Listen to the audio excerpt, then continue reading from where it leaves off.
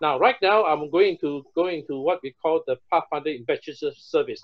These are all under ceremonies. Now, remember, in Pathfinders, we have got ceremonies like um, the Pathfinder Induction Service, the Pathfinder Investiture Service, the Pathfinder Day. So these are these three very important ceremonies. Okay, so we have already covered induction last week. So today we talk about investiture. So what is investiture? These are big words for some people, but it's simply what you might call a graduation service, right? Put it this way, it's a graduation. This is the occasion where the Pathfinders are presented the tokens of their achievements, which are the honor patches, the pins for their classes, right, uh, and all those insignia for the classes.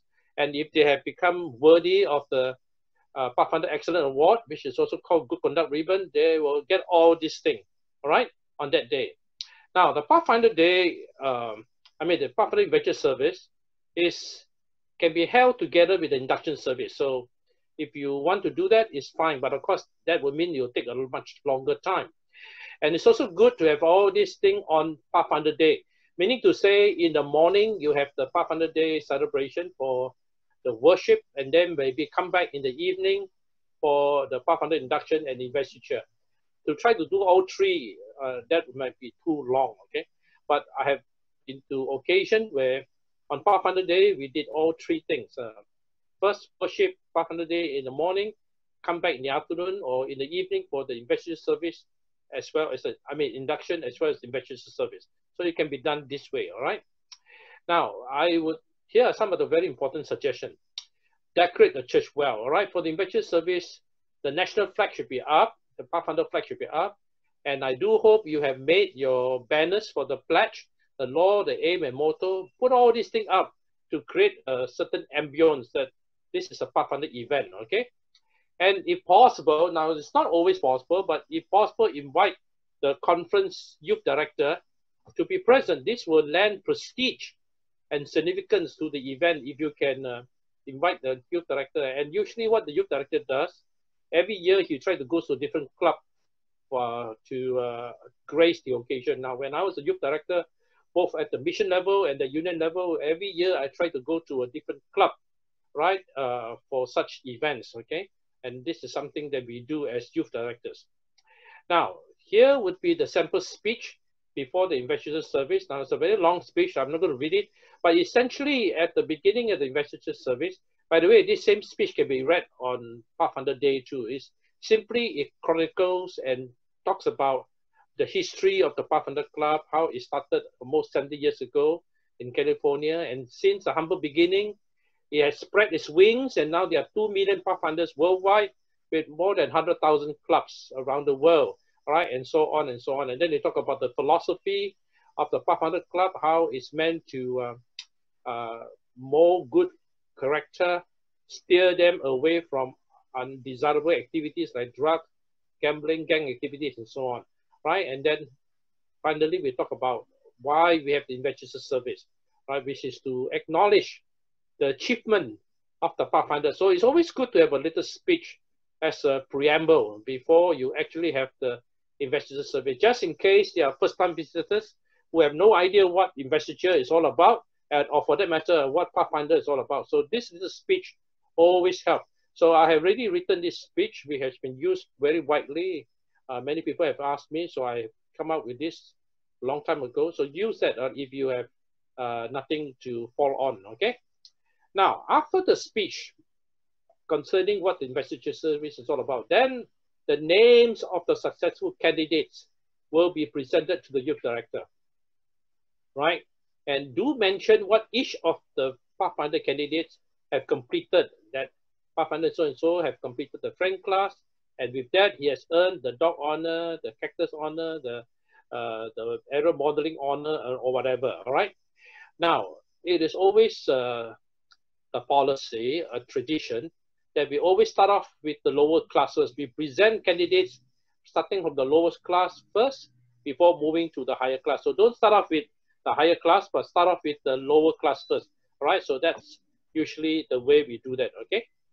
Now, you have to present the candidates to the conference chief director for investiture. And so here is the speech to be read by whoever the presiding officer is for that investiture to the conference youth director who will be presenting the uh, tokens.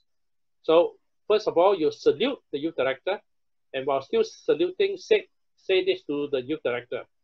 Master guide so-and-so, that means this pastor.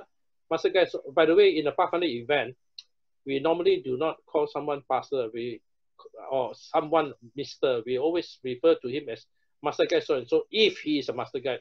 So in this case, if I was invited, some that person would say, Master Guide Simon Siew, all right, I am pleased to present to you the following candidates who has successfully completed the requirements for the whatever class, friend class, companion class, or whatever.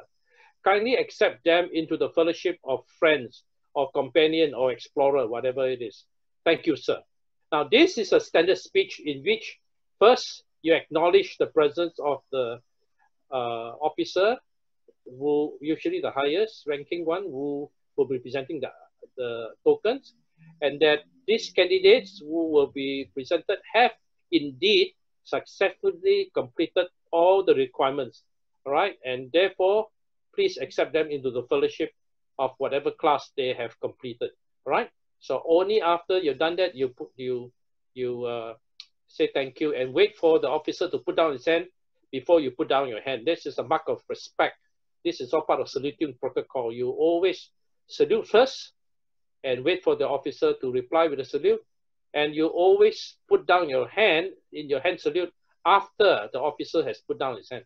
So first to salute and last to put down the hand.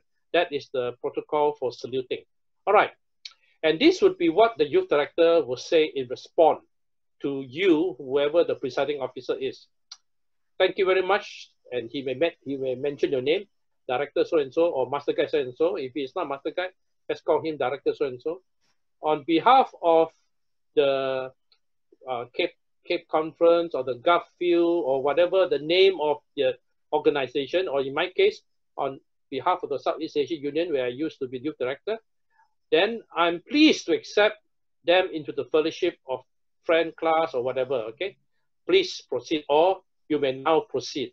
So this is the acknowledgement uh, response, okay, that we say immediately after this has been presented to me. And with that, the presiding officer or his deputy will then read out the name of those to be invested one by one. Candidates will march up smartly, salute the youth director first before receiving the tokens of their achievement from him. So that's always the case. Salute first and wait to receive the tokens or wait to have the tokens uh, pin on your uniform or whatever it is, okay? Now, the master guide investiture is much more serious and has got a, a, a certain dignity about it, solemnity. Ensure that, first of all, the master guide charge is always read to the candidate prior to investing them. Now, this is important. You never, never invest someone as a master guide without first reading out to him or her the master guide charge. And I'll explain to you what the master guide charge is. The master guide charge is to remind candidates, the master guide candidates, they are duty bound to return those leadership tokens, I'm talking about the master guide tokens, to the nearest conference office, youth department, should they no longer be able to live up to the standards or the life expected of master guide. You see, there's a certain conduct of master guides that they're supposed to hold on to a high standard. And if they feel they can no longer live that kind of life, as a matter of their own personal honor, as a personal trust, they should return those master guide tokens. This is just to show how uh, important it is to, uh, a responsibility it is to wear those tokens. And this is the master guide charge, okay? So if you have not seen it, this is how it will normally look like. All right, so whoever the candidate is, if I were the youth director, I would say, uh, uh, I will call him uh, master guide candidate uh, uh, Daniel. You have you are about to be invested with a very important position of leadership, that of being a master guide. These leadership tokens represent the highest ideals of the Seventh-day Adventist Church Youth Department. For this reason, these tokens are to be kept in trust.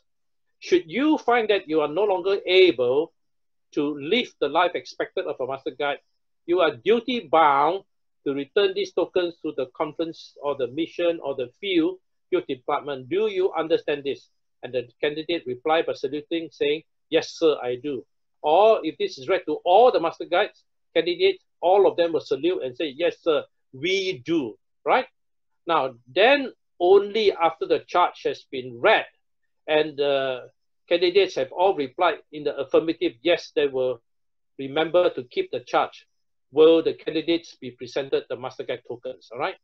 Now, after they've been presented, invite all those master guides who are in the church to come out, both old and new master guides, including retired master guides, to come out to congratulate them. And if possible, surround these successful candidates uh, in a circle and offer a special consecration prayer for those who have been invested. So that's normally how we conduct investiture service. All right, so I'm glad I didn't take too much time on this one. I hope all of you will remember this and you have a copy of this presentation.